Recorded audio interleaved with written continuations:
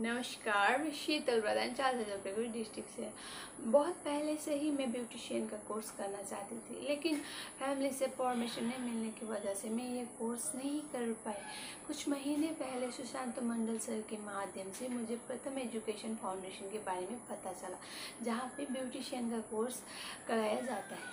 ये बात सुनने के बाद मैंने अपनी फैमिली को बताई ये सारी बातें, और इसके साथ ही मैंने बताया कि जब मैं ये कोर्स करना चाहती थी तब आप लोगों ने ये कोर्स नहीं करने दी और लेकिन तब मेरे फ्रेंड्स ये कोर्स करके अभी वो जॉब कर रहे हैं। ये सारी बारे, बात बताने के बाद में मेरी फैमिली ने मुझे परमिशन दे दी। इसके बाद में अभी मैं ब्यूटी ब्यूटिशियन का लेवल वन कोर्स कर रही हूँ, प्रथम एजुकेशन फाउंडेशन के माध्यम में।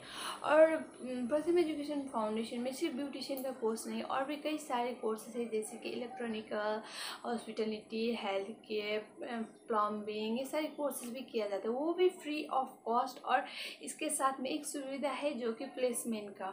हमें इसके माध्यम से कोर्स तो कर सकते हैं, उसके बाद में हमें प्लेसमेंट भी दिया जाता है। वो भी हमारे सुविधा को देखते हुए। अगर हमें अपने स्टेट में ये जॉब करना है तो फिर हमें अपने स्टेट में ही प्लेसमेंट दिया जाता है। और अगर हमें बाहर भी जाना इच्छा है, जैसे कि अदर स्टेट में, वैसे हम लोग वहाँ पर भी अप्लाई कर सकते हैं। और जब ये कोर्स कर रही हूँ मैं ये कोर्स करते हुए। मुझे कोई भी प्रॉब्लम्स नहीं हो रहे सर और मैम बहुत ही अच्छे हैं। जैसे कि Amiya sir, Rumpi ma'am and Sampa ma'am बहुत ही अच्छे हैं। और हमें अगर कोई भी प्रॉब्लम हो ये सेशन के बारे में या कोई भी क्वेश्चन हो तो फिर हम किसी भी वक्त सर और मैम को कॉल करके हम लोग आंसर ले सकते हैं। वो लोग बिल्कुल भी हमें नहीं डांटते हैं। बहुत अच्छी तरह से अपने छोटी भाई बहन की तरह से हमें ट्रीट करते हैं।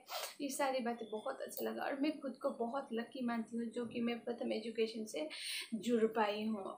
ये मेरे मम्मी पापा हैं और ये भी बहुत खुश है कि मैं अभी ये कोर्स कर रही हूँ। Thank you so much Pratham education foundation आपकी वजह से अभी मैं अपना सपना पूरा कर पा रही हूँ। और thank you so much sir और मैम को भी। आपने बहुत ही अच्छे तरीके से हम लोगों को समझाया। Thank you